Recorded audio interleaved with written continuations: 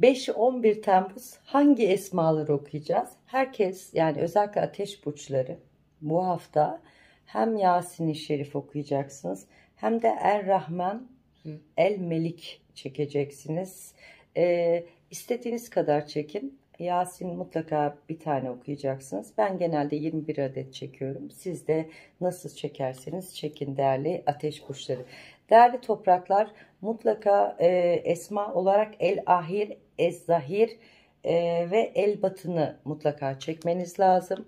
E, 21 adet çekin. Bir de şükür namazı ya da niyet namazı kılarsanız rızkınız, bereketiniz feraha erer. Tabi kalbiniz ne kadar çekmek istiyorsa unutmayın.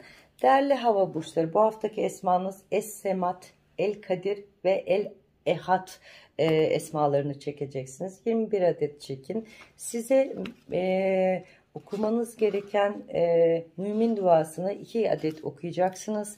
Ve bu 2 adet size gayet şifa ve aydınlık olacak olarak uyarıyorum.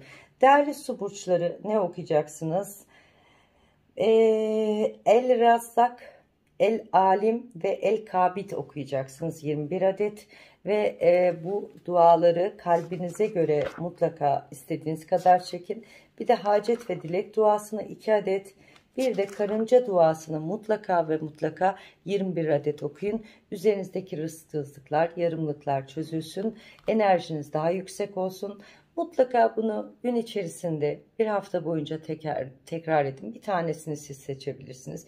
İstiyorsanız esmaları kendiniz seçebilirsiniz bu hafta. Kendi enerjinizle çekin. Ezan dokunuyor şu an. Rabbim bütün ezanların sesiyle kendi esmanızı size yansıtsın. 22.38 ee, İstanbul'da şu an ezan okunuyor. Ee, ezanlarla birlikte dualarınız kabul olsun. Ben kalbimden bunları geçirdim.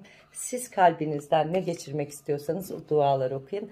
Rabbim ezanlarımızı hiçbir zaman indirmesin. Bayrağımızı hiçbir zaman indirmesin. Ülkemize zeval vermesin. Ezanlarla birlikte güzel sabahlar, güzel gecelerimiz olsun.